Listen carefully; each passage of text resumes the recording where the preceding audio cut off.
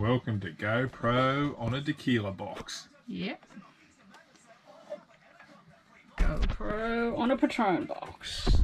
And she's drinking tequila. And I'm drinking a different tequila. I don't know if I'm on that. I guess I would be. Right, let's try that again. In three, two, one. Good morning and welcome to season two, episode four O'Neill's on the Run Life in a Bus. And today we are travelling Cessnock to probably Fingal Bay, see how we go for time. Lake was lovely and smooth. It is grassy, weedy bottom, but it is a beautiful, clear lake. That would be Tom's phone ringing. Put your phone on silent.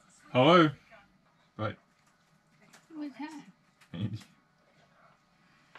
Put your phone on silent. Right, we'll just pick up from there. From the fish and chip shop on the river.